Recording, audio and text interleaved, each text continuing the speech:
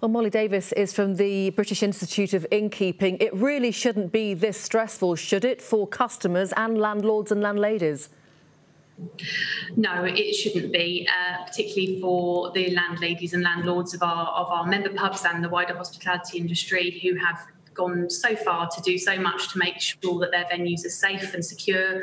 You've got 9,000 members or so currently. How many do you think will not be still in the business by Christmas? Ahead of the Chancellor's announcements of further support um, for Tier 2 businesses as well as Tier 3 businesses, we were looking at 750,000 job losses in the sector before February of next year.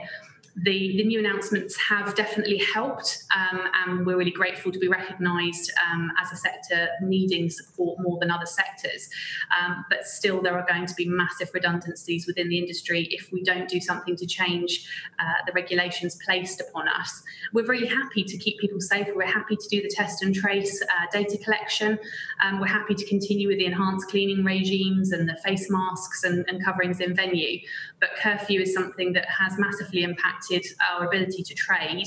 And also, Have, have been quoted as, as saying that it wasn't something they felt it was going to have a massive impact on infection rates, but it has had a massive impact on our ability to, to make money as an industry. And of course, it's so far reaching, isn't it? Because it's not just that sole business, it's suppliers, it's a whole chain of people that rely on that business. Absolutely. We employ as a sector and as a supply chain down through breweries and people who supply pubs over 3 million people. That is a big, big number of people who stand to lose their, their jobs and their livelihoods.